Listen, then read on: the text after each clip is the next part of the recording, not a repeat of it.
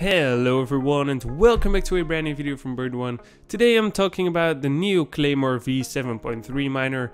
I've released a Claymore miner a month ago I think and it's pretty outdated so I'm gonna update it for you guys so you can download it and install that one. It's also ready to go as usual I always try to make them like that and it's for Linux and Windows today so the Ethereum Classic will come on later and Zcash maybe, I'm not sure about that one, but I'll take a look at that later on. So what is special about these miners? They have been programmed so you can mine AMD and Nvidia cards at the same time and I also made two different scripts.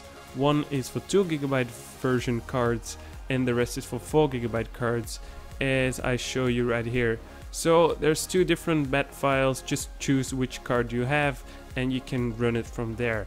The only thing you have to change is as usual just edit the file and you should be able to change the address and the server of course.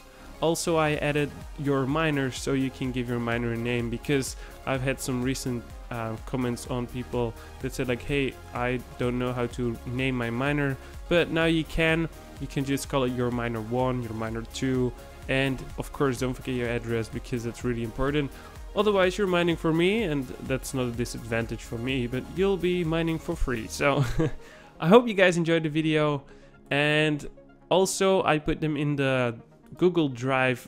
Um, it's my experiment, so I put all the miners in the future in the same drive so you can just access all the miners at all times instead of watching all the videos. So I hope you guys enjoyed the video and see you guys in the next one.